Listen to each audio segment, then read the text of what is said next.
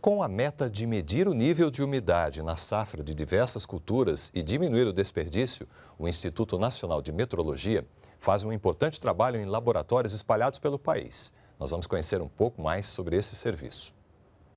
Milho, soja, arroz. A safra de grãos no país, neste e no próximo ano, deve chegar a quase 290 milhões de toneladas. Um negócio que movimenta bilhões de reais.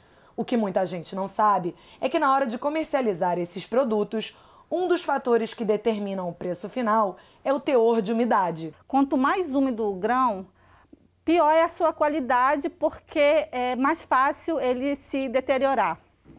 Então, quem está recebendo esse grão precisa ter um gasto a mais para poder secar e armazenar esse grão de forma a conservar sua qualidade. Mas como assegurar que a medição será feita de forma justa e precisa? Os aparelhos devem passar por uma avaliação do Instituto Nacional de Metrologia, Qualidade e Tecnologia, o Inmetro. Esse é um dos modelos de medidor de umidade de grãos aprovados pelo Inmetro. A amostra é colocada no equipamento e em poucos instantes é calculada a quantidade de água. Em seguida, sai um comprovante como esse. Os descontos estão diretamente ligados a esse, esse fator.